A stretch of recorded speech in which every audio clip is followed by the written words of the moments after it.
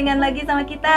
Iya, Garing hari ini kita akan ngobrol soal gimana cara menggunakan intonasi yang tepat dalam public speaking. Iya, nggak di dalam public speaking aja ya, tapi kita juga bisa mengimplementasikannya di kehidupan sehari-hari Iya, nih. betul. Ada berapa macam sih eh, jenis intonasi? Sebetulnya intonasi itu macamnya bisa beragam. Maksudnya bisa tak terhingga. Karena kan Hmm. setiap pesan sebetulnya punya intonasi tersendiri ya. Beda-beda ya. Bener nggak? Mm-mm. Tapi kalau kita mau kelompokkan, ya kita bisa bagi dua lah ya. Dua itu adalah ada yang serius, ada yang santai. Yang serius kalau di berita tuh kita sebutnya biasanya hard news. Oke. Tapi kalau di kalau yang santai di berita tuh bisa jadi soft news gitu ya. Mhm. Skripnya soft news nih ya bacainnya juga soft santai gitu ya, ringan. Jadi kalau kita kelompokkan mungkin dua, tapi sebetulnya beragam banget. Kan Benar. serius juga macam-macam Benar, ya. Benar-benar. Misalnya kita minta tolong ke orang deh, intonasi kan pasti berbeda Hmm, tuh. hmm. Pak, bolehkah saya minta tolong sebentar saja? Saya mau pinjam barangnya, Pak. Ya kan? Di situ kalau kamu perhatikan ada ekspresi yang berubah, Mm-mm. ada suara yang Hmm. oh, ya, produksi suara yang beda, intonasi juga yang digunakan berbeda.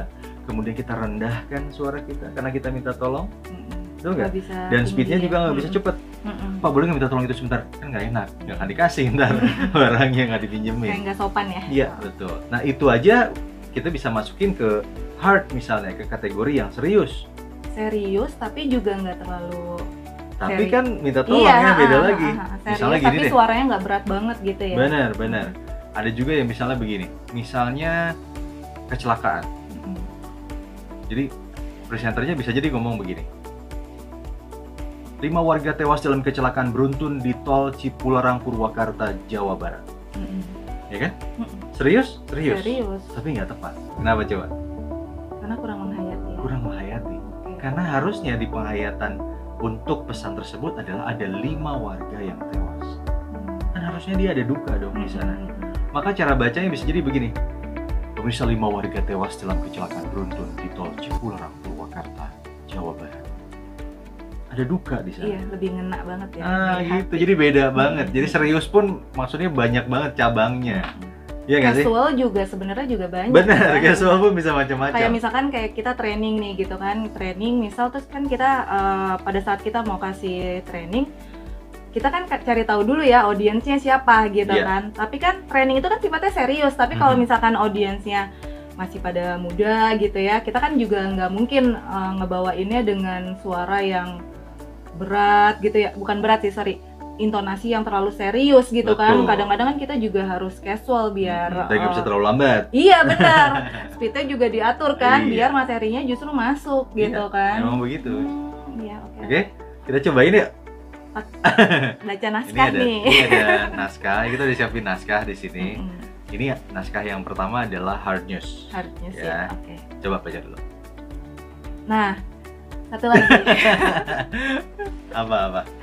Gimana ngatur fokus nih? Kita kan udah tahu nih misalkan nih tekniknya intonasinya harus hard. Hmm. Apalagi kalau bicara depan kamera. Ya kan? Gimana caranya ngatur fokus, ngatur intonasi, speed sambil harus lihat fokus eh, lihat kamera. Nah, kalau kamera TV kan lensanya cuma satu yang yang kita lihat ya. Walau kadang-kadang suka agak pusing ya karena matanya jadi pengen ke tengah terus. nah, kalau kamera handphone nih kan ada yang tiga, empat, bahkan lima gitu. Iya. Lihatnya ke yang mana? Iya, pada intinya kan sebetulnya kalau di TV atau kalau berhadapan dengan kamera, maka pemirsa atau penonton tuh diwakili dengan kameranya ya. Mm-mm. Maksudnya kita memang harus melihat ke lensa kamera Iya. supaya orang di rumah penonton Berasa diajak berasa ngobrol. diajak ngobrol, Heeh. benar. Kalau kita melihatnya ke yang lain ya pasti dia kayak dibacain doang, gitu, tapi Mm-mm. nggak diajak bicara gitu, nggak nggak bertutur ke dia jadinya Iya. presenternya. Jadi memang kita harus lihat ke lensa kamera. Nah kalau kalau pakai handphone yang kameranya lensanya ada lima gitu ya, ya sebetulnya tetap harus lihat ke situ.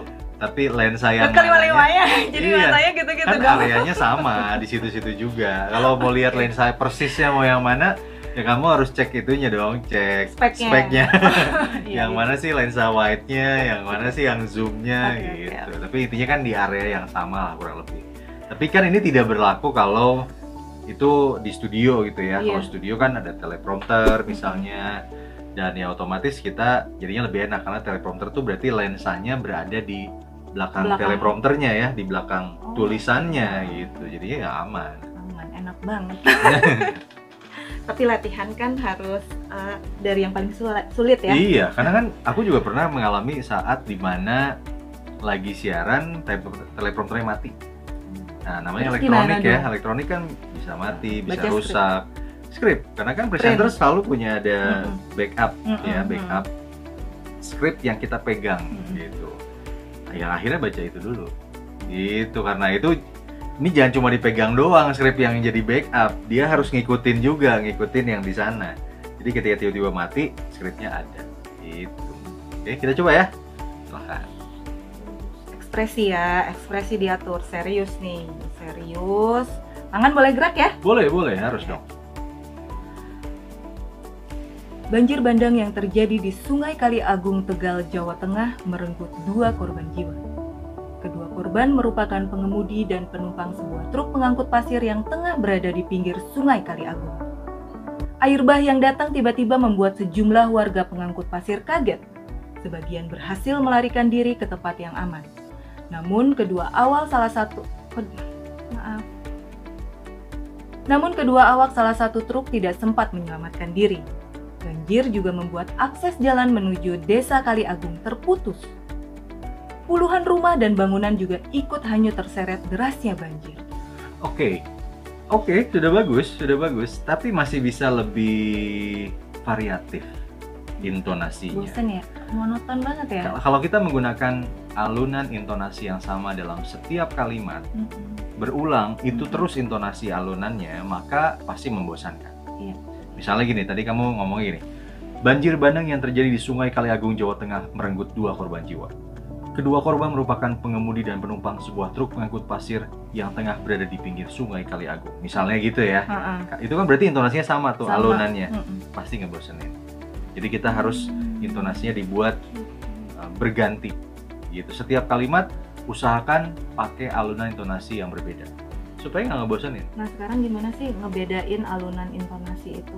Iya, alunan itu kan sebetulnya nada ya. Mm-mm. Nada kan. Nada itu kan do, re, mi, fa, sol, la, si, do betul. Tapi kan bukan berurutan do, re, mi, do, re, mi gitu ya. Intinya adalah kita harus Ngacak bisa mix ngacak? Oh, gitu.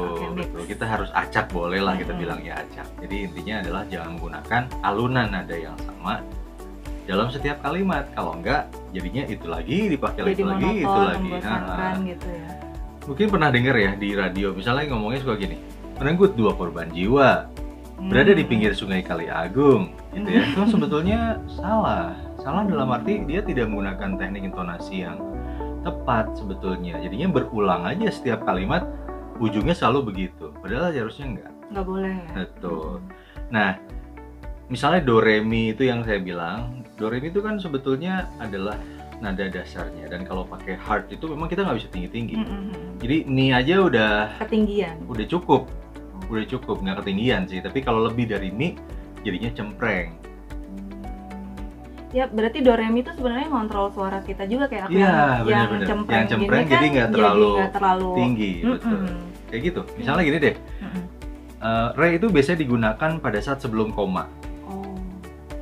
misalnya kali agung tegal tegal tuh kan habis tegal koma, Koma dulu lagi. baru jawa tengah Heeh. tegal jawa tengah ya kan bayangin kalau itu pakai do tegalnya berarti tegal Tegal.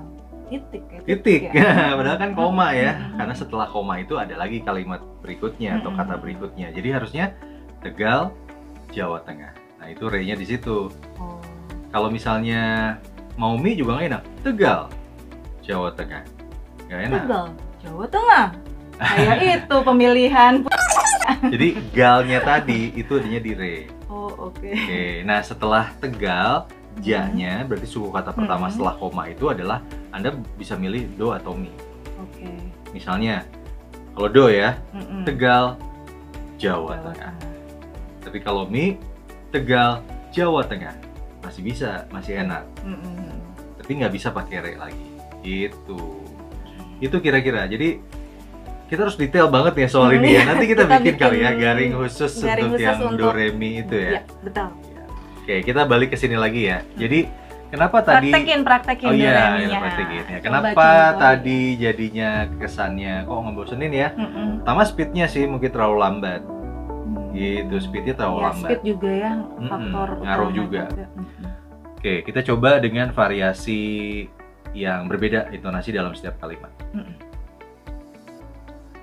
Banjir bandang yang terjadi di Sungai Kali Agung, Tegal, Jawa Tengah merenggut dua korban jiwa. Kedua korban merupakan pengemudi dan penumpang sebuah truk pengangkut pasir yang tengah berada di pinggir Sungai Kali Agung. Air bah yang datang tiba-tiba membuat sejumlah warga pengangkut pasir kaget. Sebagian berhasil melarikan diri ke tempat yang aman, namun kedua awak salah satu truk tidak sempat menyelamatkan diri. Banjir juga membuat akses jalan menuju desa Kali Agung terputus. Puluhan rumah dan bangunan juga ikut hanyut terseret derasnya banjir. Oke. Gitu. Lebih enak. Lebih enak karena kita menggunakan intonasi yang berbeda. Mm, mm, Nah, mm, mm. kayak gini-gini tuh perlu latihan. Kadang-kadang Iya. kita suka merasa, oh udah bagus, udah oke gitu ya. Mm-mm. Padahal kita nggak tahu tekniknya ternyata nggak boleh berulang intonasinya. Kita pakai re-nya di mana, mi-nya di mana, do-nya di mana. Nah, kalau kita udah tahu teknik itu pasti lebih lebih gampang lagi. Tapi itu nggak bisa dikuasain singkat problemnya. Saya juga dulu nggak bisa tiba-tiba gitu. Butuh waktu bulanan. Bahkan mungkin untuk bisa menyempurnakan ya belum sempurna juga ya. Itu bisa tahunan gitu. Tapi kalau kita udah tahu tekniknya pasti akan lebih mudah. Nah, problem tadi juga adalah kita kan sekarang nggak ada teleprompter ya. Jadi Iya. kita harus sambil ngeliat gitu ya. Nah, karena pemirsa kalau di TV atau di kamera itu kan berarti diwakili oleh lensa kamera, maka kita harus selalu lihat kan ke lensa kamera. situ. Jadi mau nggak mau kita harus selalu mengalihkan dari sini ke kamera, skrip ke kamera, skrip ke kamera. Kalau di dipersentasekan berarti 80% tuh harusnya lihatnya ke kamera. 20% baru lihat ke sini. Gimana caranya supaya nggak supaya nggak ya butuh Iya. latihan. Tapi intinya adalah ketika kita melihat ke skrip, usahakan, usahakan 4 sampai 5 kata kita udah bisa hafalkan. Jadi sekali lihat tek 5 kata lihat lagi ke sana. Misalnya gini. Banjir bandang yang terjadi banjir bandang yang terjadi di Sungai Kaliagung Tegal Jawa Tengah. Oke. Pemirsa banjir bandang yang terjadi di Sungai Kaliagung Tegal Jawa Tengah merenggut dua korban jiwa. Ngatur. Ini skrip baru loh ya, skrip baru. Maksudnya kita bisa menghafal dengan cepat, kemudian langsung lihat ke sana. Karena itu public speaking, siaran, presenting butuh konsentrasi. Itu ya, karena Hmm. konsentrasinya ngatur teknik intonasi, ngatur warna suara, Iya, ngatur penglihatan eye contact, ini body language-nya body kita. language-nya juga gitu ya. Wow, banyak banget sih yang bisa dipelajarin dan kita nggak bisa di satu episode ya. Harus dibagi-bagi nih. Oh iya betul. Nah kalau gitu episode berikutnya kita masuk ke soft newsnya kali ya. Iya, soft news itu juga soalnya ada teknik sendiri bukan asal ngebacain juga ya. Iya betul. Tapi kalau soft news tuh ini kisi-kisinya ya, Iya, kisi-kisi. kisi-kisi. Kayaknya ini banget ya. Kisi maksudnya bocorannya adalah kalau soft news lebih mudah. Karena Iya. kita tidak berpatokan di do re mi saja. Jadi bisa lebih tinggi dari ini.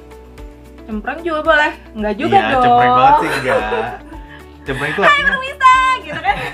tapi cempreng itu adalah boleh gitu. aman kalau nggak ngeganggu kuping orang yang denger gitu. Jadi boleh cempreng asal nggak nggak ngeganggu gitu. Aku tapi emang sukanya soft sih gitu. Cuman tinggal sebelum baca kuncinya senyum dulu. Iya. Oke, kalau gitu teman-teman kita akan kembali di episode berikutnya dari Garing ya iya. untuk masuk ke gimana caranya kalau skripnya soft news, jadi public speaking soft gitu ya. Iya, betul. Sampai ketemu di Garing berikutnya. Hai, udah siap belum garing-garingan sama kita hari ini? Iya.